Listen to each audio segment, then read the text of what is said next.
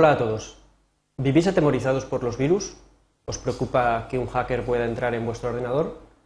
¿Os preocupa perder ficheros o documentos importantes? Bien, todas estas preguntas las podemos responder dentro de la disciplina conocida como seguridad informática.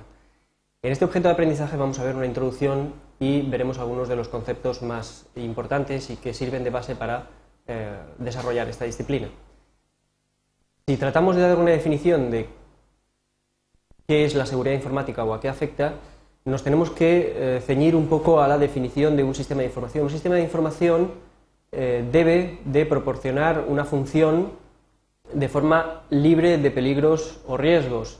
Cuando hablamos de riesgo, aquí nos referimos a situaciones que puedan ocasionar, por ejemplo, la pérdida de información o eh, accesos no autorizados a la información o también la interrupción del servicio, es decir, que el sistema de información deje de eh, proporcionar su eh, función, deje de realizar su función.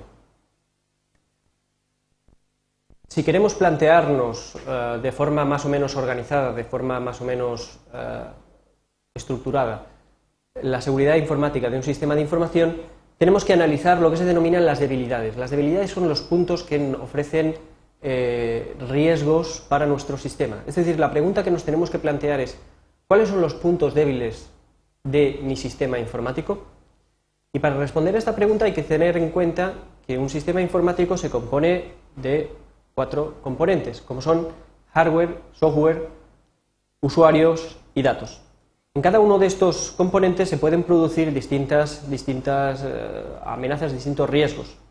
Por ejemplo, si hablamos de hardware, se podrían producir inundaciones o incendios, cortes de electricidad, también otros eventos que pueden suceder son, por ejemplo, la acumulación de polvo o el vertido de, comida, ¿no? verter comida sobre los teclados accidentalmente.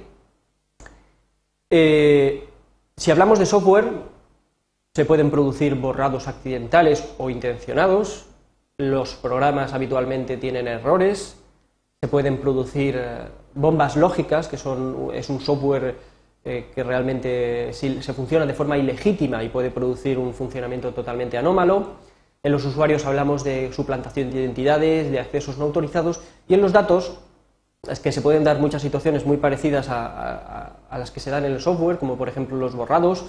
También se pueden dar, por ejemplo, situaciones como la modificación no autorizada, eh, que la información se corrompa, es decir, que deje de tener coherencia o también eh, una situación que se puede producir es aquella que mm, significa un robo o copia de estos datos.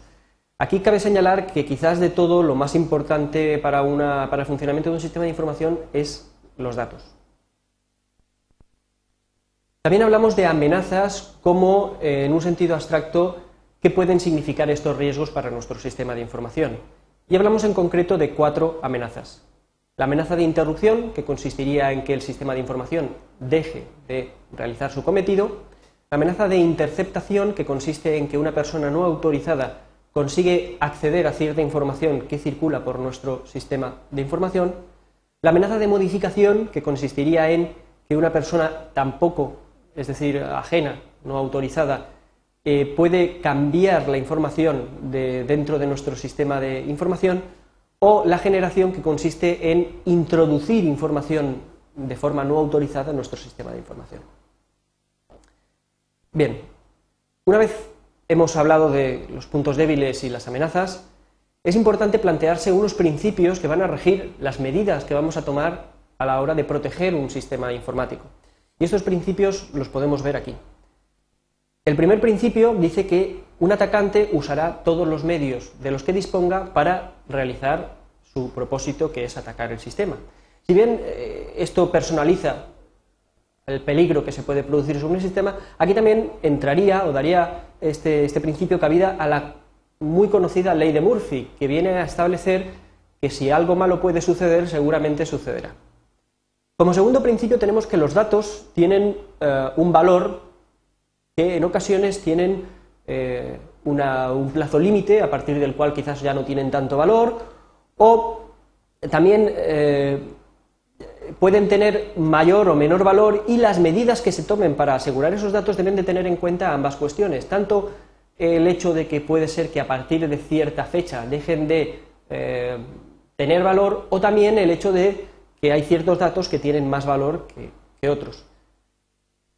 Por último, tenemos que siempre que se apliquen medidas para proteger un sistema informático, tenemos que plantearnos que deben de ser medidas efectivas y eficientes y que no interfieran en el funcionamiento de nuestro sistema de información.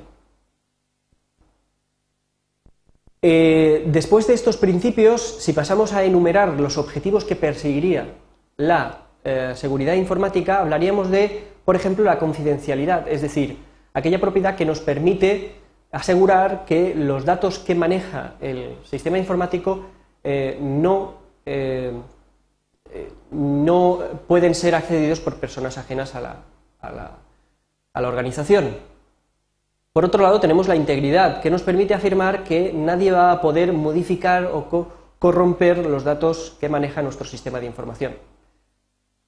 También es necesario cumplir con el objetivo de la disponibilidad, es decir, que el sistema de información debe de dar, debe de proporcionar la información, debe de funcionar siempre que una persona se lo, eh, lo necesite, es decir, que debe de estar siempre a disposición de los usuarios siempre que estos lo necesiten y que las medidas de seguridad no supongan un impedimento. Sin embargo, cuando eh, hablamos de redes, entran nuevas eh, o pasan a ser necesarios nuevos objetivos, como por ejemplo la autenticidad y el no repudio. Vamos a ver detallado en detalle cada uno de ellos. Si hablamos de la autenticidad en la comunicación entre dos usuarios, aunque ahí veáis dos usuarios, se puede entender también como dos, dos sistemas. Cuando se habla de la autenticidad se hace referencia a, bien, si se produce una comunicación, ¿cómo sabe el receptor, es decir, en este ejemplo Luis, que realmente es Elena que es el emisor, el que está al otro lado, el objetivo perseguido es que se pueda asegurar que realmente el emisor es quien dice ser. Por otro lado tenemos el no repudio. El no repudio lo que sirve es para que ambos eh, interlocutores no puedan negar su participación en dicho acto de comunicación, es decir, que Luis dispondría de evidencias de que se ha producido ese acto de comunicación, pero también, asimismo, Elena. Muy bien, pues como conclusión, terminar diciendo que es necesario, eh, aunque sea como usuarios, estar concienciados del alcance y de la importancia que tienen estos principios básicos en la seguridad informática. También son muy necesarios a la hora de establecer relaciones de confianza.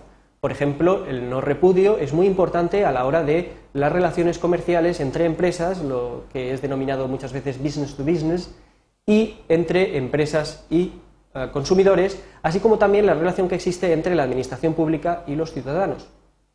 Por último, apuntar que ningún sistema es seguro al 100%, pero debemos de ser conscientes dónde pueden producirse estos fallos en la seguridad de nuestro sistema. Muy bien, eso es todo. Gracias por vuestra atención.